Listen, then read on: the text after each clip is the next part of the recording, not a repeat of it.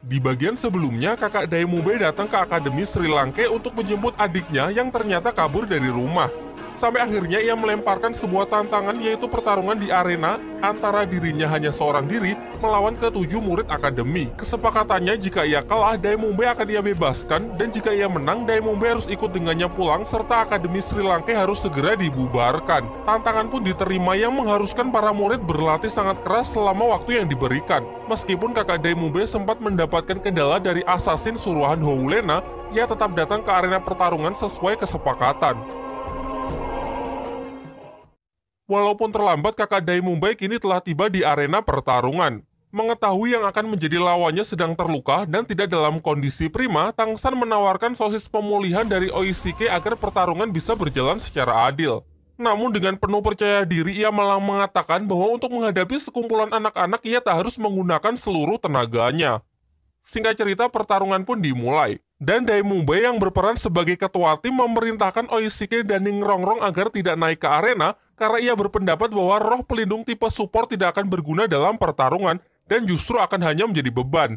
Ditambah lagi ia beranggapan kalau kemenangan mereka berdua dari Mang Hojun kemarin hanyalah sebuah kebetulan. Akhirnya lima fighter lah yang maju untuk menghadapi kakak Dai Mubai. Dari sini Dai Mubai lah yang memberikan perintah. Dirinya, Mang Hojun, Suying, dan Xiao akan terus melancarkan serangan, sementara Tangsan dengan tali akar pohonnya akan mengikat lawan demi membatasi pergerakannya. Sayangnya karena strategi yang sama sekali tidak matang, tim yang dipimpin Daimumbe ini mengalami blunder. Meskipun serangan-serangan berdamage tinggi terus mereka lepaskan, namun tak satu pun yang bisa melukai kakak Daimubai.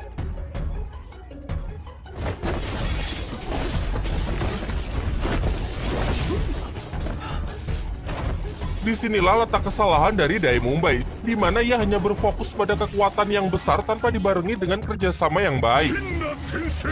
Hingga pada puncaknya ia mendapatkan serangan fatal tepat ke dadanya yang membuatnya tak bisa lagi melanjutkan pertarungan. Sementara itu, Tang San yang terus berpikir mencoba mengambil alih kepemimpinan dengan menyertakan Ning Rongrong dan Oishike terlibat masuk ke dalam arena. Sebagai serangan pertama, Ning Rongrong melemparkan beberapa bola kecil yang jelas dapat ditangkis dengan sangat mudah. Berikutnya, Oishike yang menggunakan serangan serupa berhasil mengikat tangan lawan karena ia menggunakan sejenis peralatan sulapnya. Dilanjutkan dengan efek kejut aliran listrik yang menyita sedikit waktu kakak Daimubai. Tanpa jeda, Mang Hojun mengambil resiko dengan mengerahkan seluruh energinya untuk menembakkan kobaran api namun ia mengincar area bawah yang mengarah ke bola-bola yang ditangkis sebelumnya yang ternyata adalah bola asap guna menyamarkan serangan Tangsan sehingga tali akarnya lumayan mendapatkan waktu untuk mengikat seluruh tubuh dari kakak Mubai. Kombinasi tersebut diakhiri oleh tendangan Xiaowu yang diperkuat dengan kekuatan roh pelindung milik Ning Rongrong yang membuat kakak Mubai keluar arena sehingga ia dinyatakan kalah dalam pertarungan tersebut. Dengan ini, kakak Daemube pun membebaskan adiknya tersebut dan berkata bahwa kita akan bertemu lagi di kota Master Roh yang akan digelar pertandingan Akademi Master Roh terbesar di dunia dahulu. Seusai pertarungan, Daemube mengakui kesalahannya sebagai ketua tim yang telah gagal sehingga membuat semuanya diambang kekalahan. Ia lalu mengungkapkan bahwa dulu sebelumnya ia menganggap bahwa kekuatan adalah segalanya bagi seorang Master Roh untuk bisa memenangkan pertarungan. Namun ia kini sadar bahwa sebuah pertarungan tidak serta-merta selalu mengandalkan kekuatan, melainkan strategi yang baik juga sangatlah diperlukan. Mendengar hal itu, Tangsan tak sedikit pun menyombongkan dirinya. Ia tetap menganggap bahwa Dai Mumbai akan selalu menjadi ketua tim yang hebat dari para murid Akademi Sri Lanka yang membuat semuanya sangat terharu. Keesokan paginya, Tangsan dan Mumbai dipanggil untuk menemui dua orang dari akademi lain yang mencari mereka dan ternyata salah satunya adalah Duguyan, wanita yang Tangsan temui di hutan pertarungan bintang beberapa waktu yang lalu. Singkat cerita, mereka pun memperkenalkan diri bahwa mereka berasal dari Akademi Tiando yang berada di bawah naungan kerajaan Tiando. Ia juga menjelaskan bahwa semalam ia sangat terkesan menyaksikan pertarungan mereka melawan kakak Dai Mumbai jadi maksud kedatangannya kali ini adalah untuk mengajak Tangsan dan Bumbai untuk mengikuti turnamen pertandingan Master Roh terbesar di dunia dahulu yang akan diadakan oleh Balai Roh Pelindung. Seperti yang sudah disinggung oleh kakak Mumbai kemarin. Namun karena Sri Lanka bukan akademi resmi, sedangkan yang boleh berpartisipasi dalam pertandingan tersebut hanya akademi resmi, maka di sini ia mengajak mereka berdua ikut serta atas nama Akademi Tiando. Tangsan yang sangat loyal kepada Sri Lanka tanpa pikir panjang menolak tawaran tersebut. Namun berbeda dengan Dai Mumbai yang terlihat masih berpikir karena ini adalah kesempatannya bisa kembali bertarung dengan kakaknya yang diketahui adalah ketua tim dari tim yang mewakili akademinya. Karena Dai Mumbai yang belum bisa memutuskan, mereka pun diberi waktu satu hari agar bisa mempertimbangkannya secara matang. Kemudian Dai Mumbai menceritakan kepada Tangsan alasan dibalik keraguannya mengambil keputusan tersebut. Dari sini terungkap bahwa Dai Mumbai ternyata adalah seorang pangeran dari kerajaan Singluo. Namun sang kakala yang dianggap lebih kuat dan berbakat, sementara dirinya selalu dianggap yang paling lemah hingga akhirnya menjadi yang terlupakan. Kini ia melihat bahwa tawaran ini menjadi satu-satunya kesempatan bagi dirinya untuk mengalahkan sang kakak dan membuat keberadaan dirinya diakui oleh semua orang di kerajaan. Mendengar alasan itu, Tangsan pun bersimpati dan mengatakan akan selalu mendukung apa pun keputusan dari Dai Mumbai. Singkat cerita, mereka berdua pun menemui para utusan Akademi Tiandu. Di sinilah akhirnya Dai Mumbai menyampaikan keputusannya yang menolak tawaran tersebut karena menganggap dirinya hanya akan dimanfaatkan sebagai alat politik untuk memperkuat dan memperluas kekuasaan kerajaan-kerajaan mereka. Mendengar hal itu, utusan tersebut pun sama sekali tak menepis tuduhan Dai dan membenarkan semua perkataannya. Akan tetapi di luar itu semua, sebenarnya putra mahkota kerajaan Tiando memang ingin membantu Dai Mumbai. Di tengah pembicaraan mereka, tiba-tiba Duguyan jatuh pingsan yang membuat Tangsan berpikir bahwa mungkin racun dari botol hijau sebelumnya kini mulai bereaksi. Mereka pun sepakat untuk membawanya kembali ke desa untuk beristirahat. Setelah sampai di desa, Oishike memberinya makanan yang ia buat dengan kekuatan roh pelindungnya. Sayangnya hal itu kurang membantu sehingga rekannya memutuskan untuk kembali ke kerajaan agar di sana Duguyan bisa diobati. Sebelum pergi, ia mengatakan bahwa putra mahkota kerajaan Tiando ingin menemui Dai Mumbai perihal tujuan sebenarnya di balik bantuan yang ditawarkan sebelumnya. Namun pertemuan mereka bukan di kerajaan Tiando, melainkan di kota yang bernama Sisi untuk menemui sang putra mahkota. Hal ini karena pertemuan tersebut benar-benar rahasia. Singkat cerita, semua siswa Akademi Sri Lanka pun dikumpulkan. Pak Kepala Akademi lalu menyampaikan mengenai Tangsan dan Dai Mumbai yang ditawari untuk ikut dalam ajang bergengsi di dunia dahulu mewakili Akademi Tiandu, meskipun dengan tegas mereka telah menolaknya. Kemudian ia menjelaskan bahwa pertandingan yang digelar kali ini adalah yang terbesar, sehingga Akademi Sri Lanka akan menjadwalkan untuk berangkat bersama-sama pergi ke ibu kota kerajaan Tiandu, meskipun bukan untuk berpartisipasi, melainkan hanya demi bertemu dengan Master Roh dari seluruh penjuru dunia dan melihat dunia dahulu yang sesungguhnya. Sebelum keberangkatan mereka, secara pribadi Tangsan menemui Master Xiao untuk meminta izin mampir ke kota Sisi demi mencari informasi mengenai tim Dewa Iblis, karena kebetulan perjalanan kali ini melewati kota tersebut. Ia juga menambahkan bahwa ia benar-benar ingin segera menemui ayahnya dan mengungkap semua rahasia yang selama ini tak bisa membuatnya tidur nyenyak. Namun di sini Tangsan tidak mengatakan tujuannya yang sebenarnya adalah untuk menemui putra mahkota kerajaan Tiando kepada Master Xiao. Akhirnya perjalanan panjang menuju kerajaan Tiando pun dimulai dengan diiringi musik yang menggambarkan eratnya kebersamaan mereka layaknya sebuah keluarga.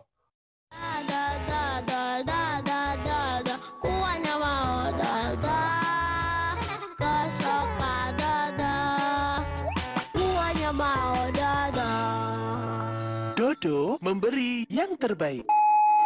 Lumayan jauh berjalan, mereka sampai di sebuah tempat berpasir yang sangat mencekam karena dihiasi oleh mayat-mayat para master roh yang diikat di tempat tersebut. Lantas mereka pun memutuskan untuk memberikan pemakaman yang layak sebelum kembali melanjutkan perjalanan. Singkat cerita, mereka telah sampai di kota tempat Dewa Iblis dan memutuskan untuk bermalam di sana. Kemudian secara rahasia, Tangsan dan Dai Mumbai ditemui oleh pembawa pesan kerajaan yang menyampaikan bahwa putra mahkota kerajaan Tiando saat ini tidak bisa menemui mereka dan berjanji akan menemui mereka di kota Tiando untuk membicarakan permintaan bantuan untuk mengalahkan kakak dari Dai Mumbai. Di malam harinya, Tangsan dan Xiao menyelinap keluar untuk jalan-jalan di pasar malam. Setelah cukup berkeliling, mereka mendengar suara tangisan dan memutuskan untuk mengikuti suara tersebut. Dan ternyata suara itu berasal dari tangisan seorang wanita yang menurut warga lokal wanita itu sudah lama gila karena suaminya meninggal di arena pertarungan Master Roh melawan tim Dewa Iblis. Kemudian mereka juga mengungkapkan bahwa tim Dewa Iblis memang terkenal kuat dan sangat kejam. Mereka akan membunuh siapa pun lawannya di arena pertarungan dan jika lawannya masih hidup, mereka akan mengikatnya di gurun pasir persis dengan apa yang Tangsan saksikan di perjalanan kemarin. Di tengah pembicaraan tersebut, tiba-tiba mereka dikejutkan dengan kemunculan salah seorang anggota tim Dewa Iblis yang berjalan mendekati mereka. Tanpa disangka-sangka ternyata ia adalah Waseng, teman lama Tangsan di Akademi Balai Roh Pelindung yang terakhir kita lihat membunuh anak Pak Wali Kota. Lama tak jumpa, mereka pun memutuskan untuk mengobrol-ngobrol bersama. Waseng lalu membenarkan bahwa memang ialah orang yang telah membunuh anak Pak Wali Kota. Sekaligus ia ingin meminta maaf karena ulahnya lah Tangsan yang menerima getahnya. Ia juga menjelaskan bahwa setelah kejadian itu, ia terus berkelana tanpa tujuan hingga akhirnya sampai di kota ini dan mengikuti sebuah pertarungan roh ilegal. Dalam ajang tersebut ia nyaris mati, namun ia berhasil selamat karena roh pelindungnya mengalami mutasi dari roh pelindung harimau biasa menjadi roh pelindung harimau darah. Semenjak itulah kekuatannya meningkat drastis dan diterima bergabung di tim Dewa Iblis. Waseng juga terang-terangan menjelaskan bahwa ia sudah lama bersama timnya menguasai kota ini, menindas mereka semua dan membunuh siapa pun yang tak patuh. Hal ini semata-mata untuk melampiaskan sakit hatinya yang sejalan dengan semua anggota tim karena dulu selalu ditindas. Pembicaraan pun ditutup dengan Waseng yang berbaik hati besok akan menjemput Tangsan untuk pergi ke pertarungan roh bergabung dengan tim Dewa Iblisnya. Keesokan harinya, semuanya pun berniat meninggalkan kota untuk melanjutkan perjalanan. Akan tetapi Tangsan memutuskan untuk tetap tinggal lebih lama karena mengaku masih punya urusan. Pak Kepala Akademi yang sudah mengetahui tujuan Tangsan yang sebenarnya memberikan izin lalu menyuruh Xiao dan Master Xiao untuk menemaninya. Setelah perpisahan yang mengharukan, sisanya pun kembali melanjutkan perjalanan menuju ibu kota kerajaan Tiandu. Namun belum jauh berjalan, mereka dikejutkan dengan kemunculan badai pasir raksasa yang disebabkan oleh amukan siluman roh di sana yang bernama Sukaku, seekor siluman roh padang pasir yang berwujud menyerupai seekor kambing. Akibat hal itu, semua orang pun panik dan berlarian kacau berusaha menyelamatkan diri. Begitu pula rombongan Sri Lanka yang membuat mereka terpisah satu sama lain. Daimubai dan Ning Rongrong berhasil berlindung dengan masuk ke dalam sebuah rumah namun karena menyadari Suying yang masih terjebak di luar, Dai Mumbai memutuskan untuk mencari dan menyelamatkannya. Singkatnya berkat bantuan dari roh pelindung Ning Rongrong, Suying berhasil diamankan masuk ke dalam rumah. Sedangkan Oishike dan Mang Hojun bernasib kurang beruntung dengan badai pasir yang semakin dahsyat. Terlebih lagi tekanan itu memicu kekuatan roh pelindung Mang Hojun lepas kendali dan justru menyerang siluman roh Sukaku. Beruntung Oishike dengan sigap berhasil menyadarkannya dan segera membawanya pergi ke tempat yang lebih aman. Sementara itu, Tangsa dan Xiaowu berhasil selamat dengan berlindung di bawah puing-puing. Terlihat tak jauh dari mereka Hulena yang pingsan terombang-ambing oleh tornado tersebut. Dengan bantuan Xiaowu dan kekuatan roh pelindung tali akarnya, ia berhasil menangkap Hulena sehingga terhindar dari petaka tersebut.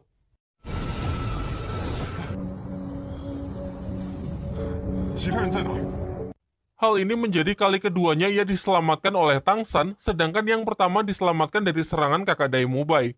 Ia pun berjanji akan membalas hutang budi ini suatu saat nanti.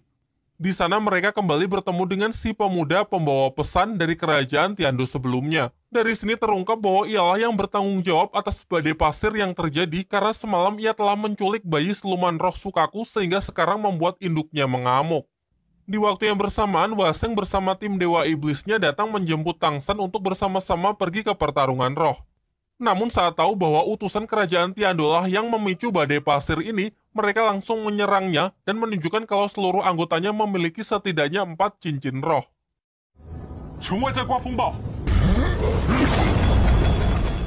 Ketua tim Dewa Iblis bernama Mengli menyuruh si pembawa pesan untuk mengembalikan anak Sukaku untuk mempertanggungjawabkan perbuatannya. Jika si pembawa pesan menolak, maka ia takkan segan untuk membunuhnya sekarang. Akan tetapi karena ia terlalu takut, Tangsanlah yang bersedia maju untuk menggantikannya. Sampai akhirnya dengan ditemani Xiaowu, ia pun memberanikan diri untuk membawa anak Sukaku untuk dikembalikan kepada induknya. Setelah anaknya kembali, seketika badai pun langsung menghilang. Setelah kembali, ternyata semua anggota tim Dewa Iblis sudah menunggunya dan mengungkapkan kekagumannya atas keberanian yang dimiliki oleh Tangsan. Sang ketua lalu menjelaskan sebagai langkah awal untuk mengikuti pertarungan roh dan bergabung dengan timnya, Tangsan ditantang untuk membunuh si pembawa pesan dengan tangannya sendiri. Jelas Tangsan dengan tegas menolaknya sehingga ketua tim yang kejam itulah yang turun tangan membunuhnya. Sontak hal ini membuat Tangsan tak bisa menahan emosinya lagi. Dengan tegas ia pun mengatakan sama sekali tak berminat bergabung dan justru menantangnya untuk bertarung di arena roh. Sebagai taruhannya, jika Tang San menang, maka tim Dewa Iblis harus menghentikan penindasannya dan segera angkat kaki dari kota ini. Dengan penuh percaya diri, Meng Li pun menyambut baik tantangan tersebut dan menyuruh Tang San mempersiapkan diri bahwa pertarungan arena roh akan dimulai satu hari lagi. Setelah tim Dewa Iblis pergi, para warga yang mendengar tantangan tersebut pun berdatangan untuk mendukung Tang San karena kemenangannya memberikan harapan besar kepada mereka agar terlepas dari penderitaan yang selama ini mereka alami. Di sisi lain, ternyata Ning Rongrong dan Oishiki juga mendengar pembicaraan Tang San dan ketua tim Dewa Iblis sebelumnya. Lantas ia pun menceritakan kepada Master Xiao dan Pak Kepala Akademi Kemudian Master Show menjelaskan bahwa seluruh anggota tim Dewa Iblis adalah orang-orang kuat yang setidaknya memiliki empat cincin roh. Kemungkinan satu anggotanya saja setara dengan kekuatan kakak Dai Mumbai yang levelnya jauh di atas murid-murid Akademi Sri Lanka. Ia pun menegaskan bertarung dengan mereka sama saja dengan bunuh diri. Diperlihatkan tak seperti biasanya, kali ini Master Show yang terlihat tidak peduli dengan ulah nekat Tang San dan malah angkat tangan serta menyerahkan semua keputusan kepada para murid ingin terlibat atau tidak. Sebagai ketua kelas, Daimumbe ternyata sepakat dengan Master Show karena sudah jelas mereka sama sekali tak punya peluang untuk menang. Ditambah lagi fakta mengenai Tang San lah yang secara sepihak melontarkan tantangan itu sehingga yang lain tak harus ikut campur. Mendengar ucapan itu, Mang Hojun langsung panas dengan mengatakan kalau Daimumbe ini pengecut dan hanya takut mati. Alih-alih mematuhinya, Mang Hojun justru menantang Dai Mumbai untuk bertarung dengannya di luar.